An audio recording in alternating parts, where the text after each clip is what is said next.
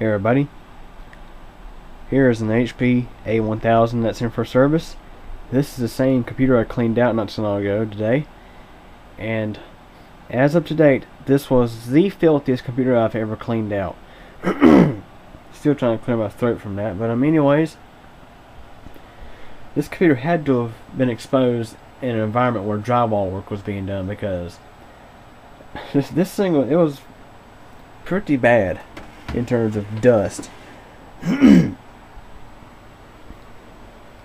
Let's go and take the cover back off. What I'm going to do is I'm going to just do an overall inspection of the inside of the computer. Just a visual inspection. Look for bad capacitors. See how much memory is installed. That kind of stuff. This machine takes DDR400 or any sort of DDR. The first gen DDR memory. Socket 939 AMD Athlon 64 here's your motherboard. 92 millimeter exhaust fan. 200 gigabyte Seagate hard drive. DVD burner LightScribe burner which may not work anymore after all that dust. And there's a power supply. It's a Hipro HP-D305 7F3R these are great power supplies, but they do have the tendency to have caps go bad.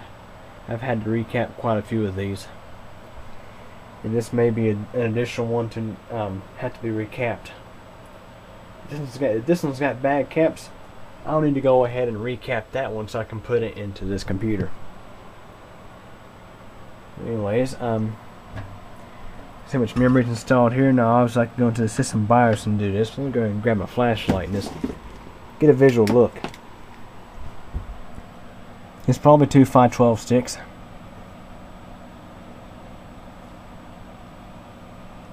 Yep, two sticks of 512 megabytes. Um, DDR400, PC3200. And see what I could do here is if this machine gets Windows Vista or Windows 7, I could stick two more 512s in there and give this thing um, 2 gigs of RAM, which will be decent for basic Windows 7. Yeah, for a basic Windows 7 computer.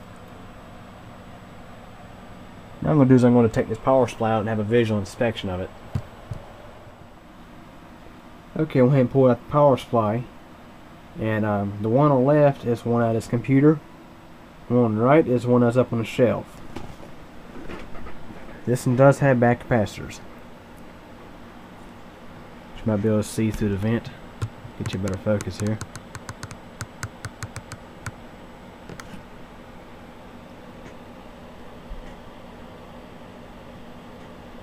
There are quite a few failed TPO capacitors in there. Basically, they're bulging on top. And sadly, it's a common thing with these power supplies. Look at this one, we'll see the same thing. This one, there's not as many bad caps. This power supply needs to be cleaned out, actually.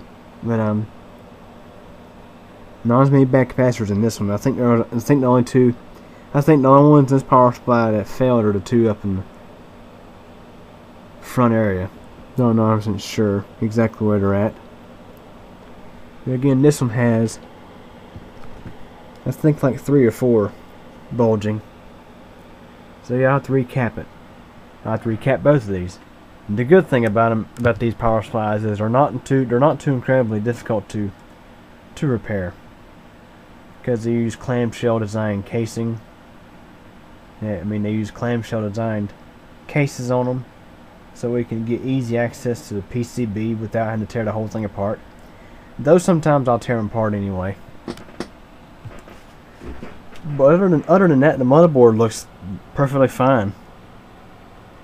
So it looks like the only problem with this computer has to do with software. The owner did mention that there's probably a virus on the machine. And I think one of the problems with this computer is it still has Windows XP. but um, anyways, any questions or comments, feel free to ask and thanks for watching.